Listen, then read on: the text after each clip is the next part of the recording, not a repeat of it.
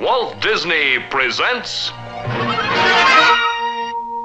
wonderful world of color.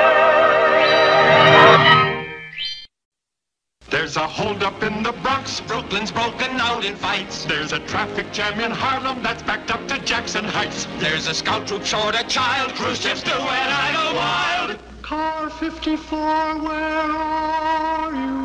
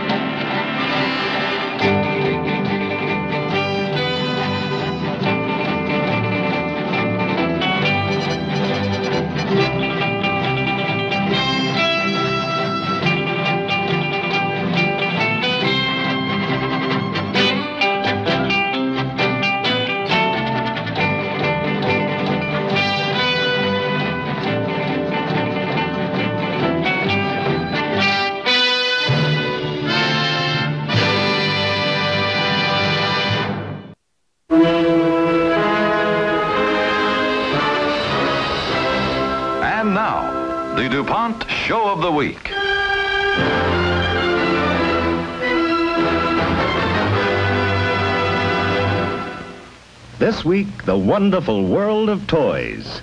Produced by John A. Aaron and Jesse Zousmer.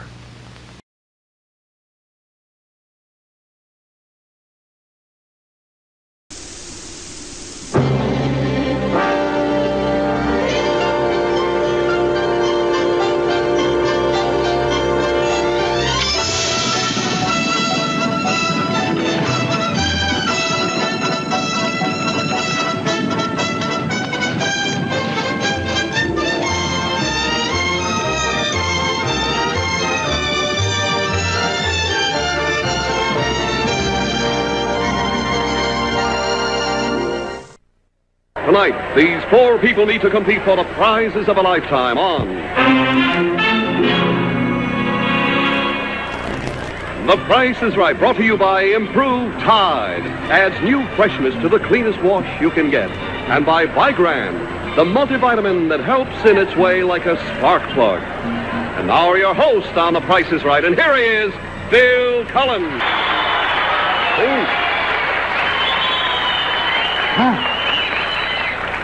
Sounds like sounds like my family reunion is in town.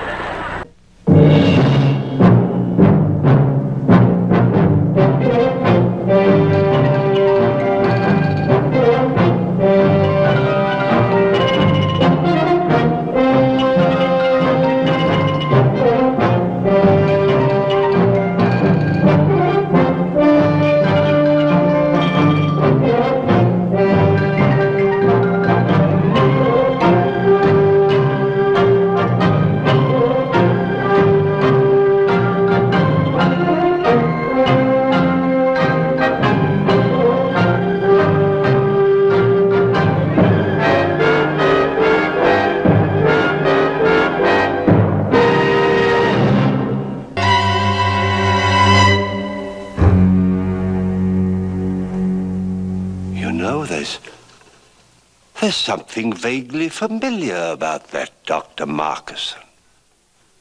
Creepy, sinister sort of chap, don't you agree? I have it. He's the kind of netherworld character who's forever popping up in nightmares. My nightmares, at any rate. But as for the doctor's young and apparently uninvited house guests, well, something tells me they'll soon regret disturbing the tomb-like serenity of this decaying old house.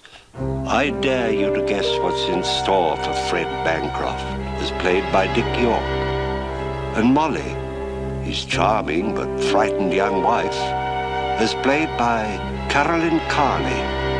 And how will Professor Angus Holden, as played by Henry Hunter, figure in the terror which awaits our unfortunate young couple? If you think the answers are entirely dependent upon the whims of the inhospitable Dr. Conrad Markesan, you're right, my friends. So please, just sit quietly. Don't make a sound. I shudder to think of what would happen if he knew that you were watching.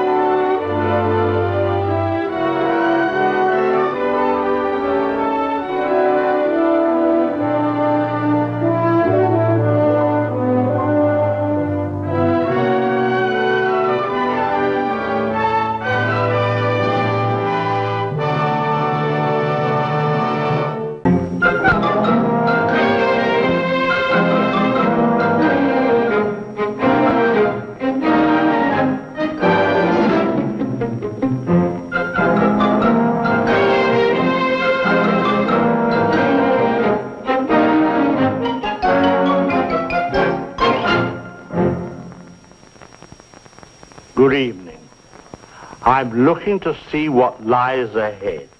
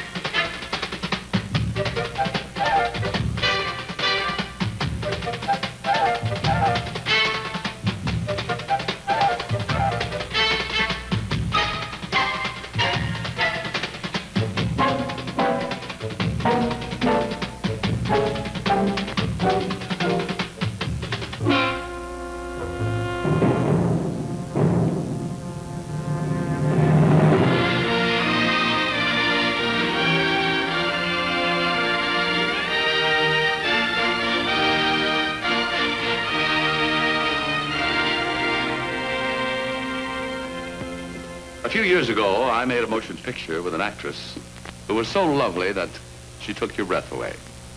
In fact, she was so beautiful that I doubt if anyone ever even noticed me on the screen.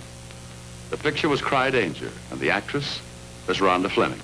Ever since then, being a normal American male, I've wanted to do another show with her. So this week, it's my pleasure to appear with Rhonda in a play entitled John J. Diggs. I'll be back in just a moment.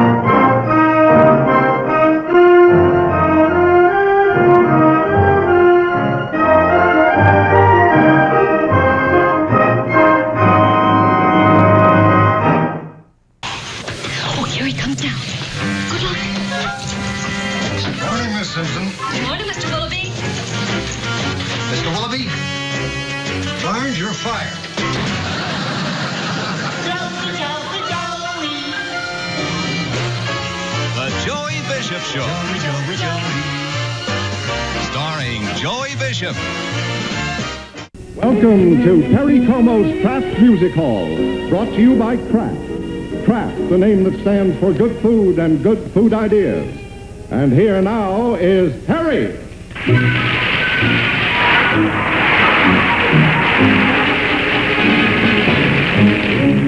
Beginning to look a lot like Christmas everywhere you go. Take a look in the five and ten, you're listening once again. The candy canes and silver lanes aglow. It's beginning to look a lot like Christmas. Toys in every store. But the prettiest sight to see is the holly that will be on your own front door.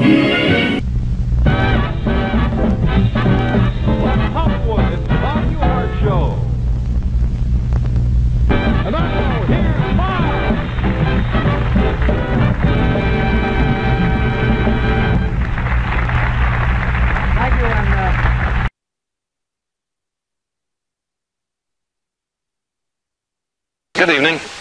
Those who are inclined to peevishness and pessimism might feel a little better if they considered the following three facts. The Salk vaccine is eliminating polio.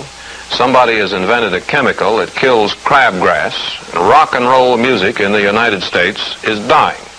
This third example of human progress we are concerned with tonight. And we say rock and roll is dying on the authority of disc jockeys and other experts.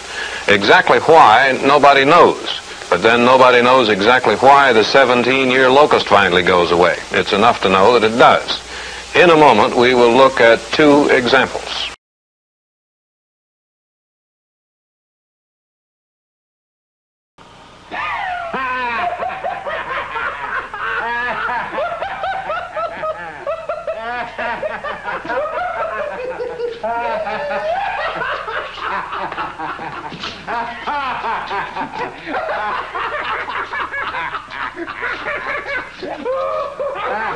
Another beer for me and my friend.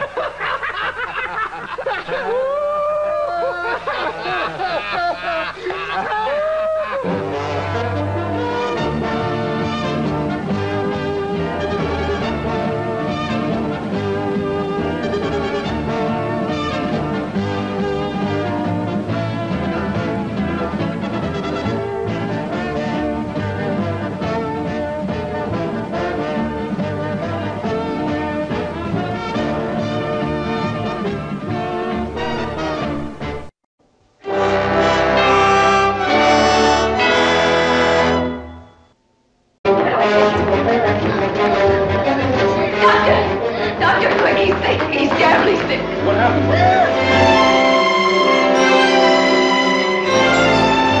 I don't know. I don't know, but please help him. Well, we'll help him, but we have to know what happened.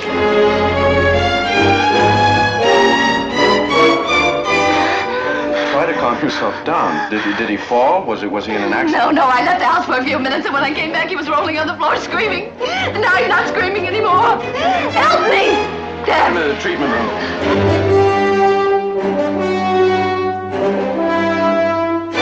Just for a few minutes, I left him just for a few minutes. What have I done? What have I done?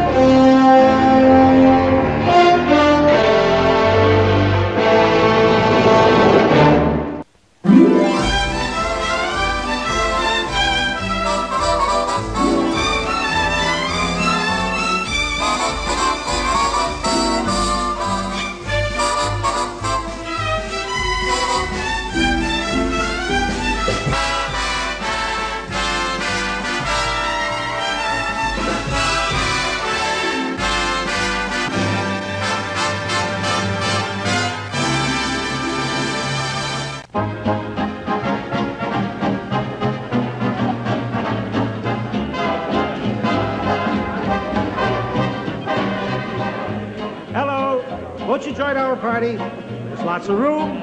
Our guest of honor hasn't shown up. We were expecting him in from California tonight because in the morning he starts work with us on a television show. We rented this big hotel suite for a pre-rehearsal welcome party, but I guess he never got my wire. So we're having a party anyway. Come on and sing. Little girl,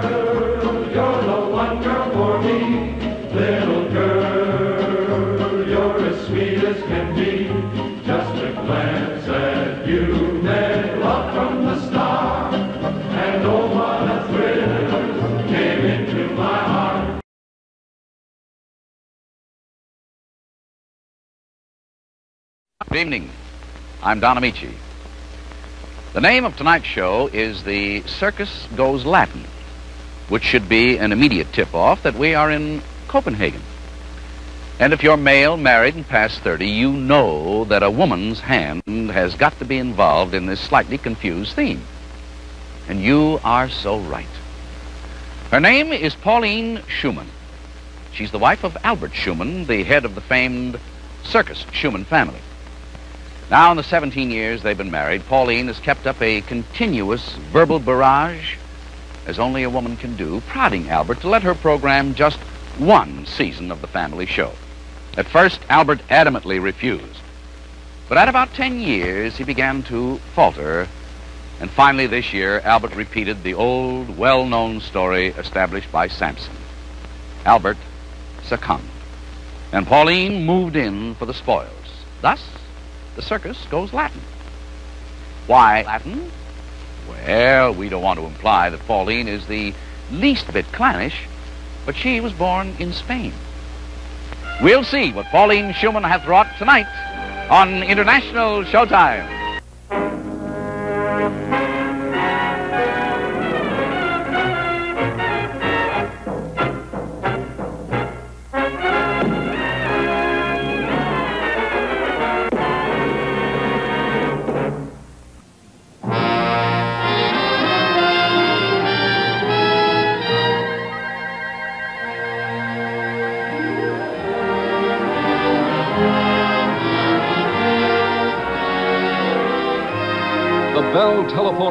Presents Till Autumn, starring Rhonda Fleming and Earl Wrightson.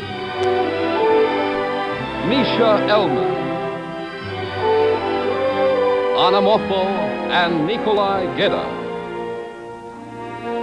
Lupe Serrano and Royes Fernandez. Benny Goodman and his orchestra.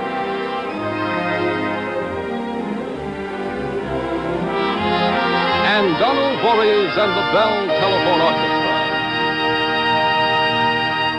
That's what our show is all about tonight the piano. All our guests have one wonderful thing in common they all play the piano. Of course, practically everybody in America at one time or another has tried or has played the piano, but the way our guests play it is just a little different. For instance, there's Liberace.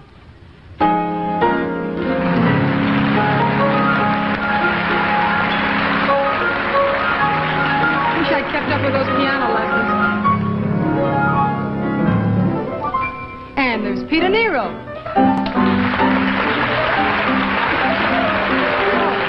I never have to sing that many notes. And there's Big Tiny Little.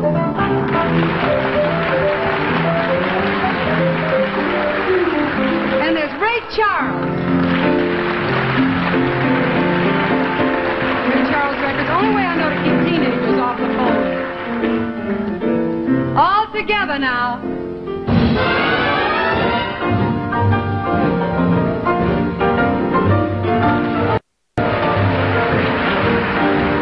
What a way to break the lease.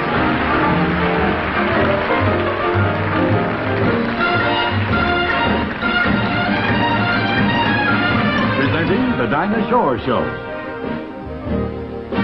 For S&H Green Stamps. Brought to you on behalf of the fine family of S&H merchants from coast to coast. The 90,000 stores and service stations that give you S&H Green Stamps. America's most valuable stamp.